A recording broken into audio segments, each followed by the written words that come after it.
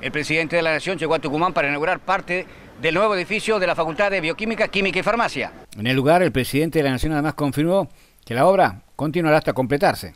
Y la misma alegría que siento hoy, inaugurando este formidable edificio en este campus magnífico que tiene la Universidad de Tucumán, y que ya vamos a empezar las obras para que ese esqueleto de al lado deje de ser un esqueleto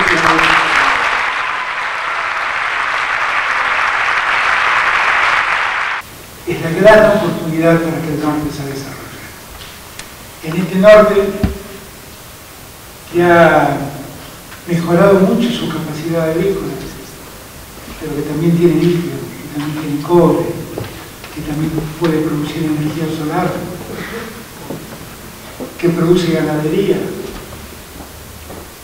el gran productor de limones acá. ¿Eh? Lo cierto es que yo a este norte le puse prestar atención, particular atención, presté particular atención.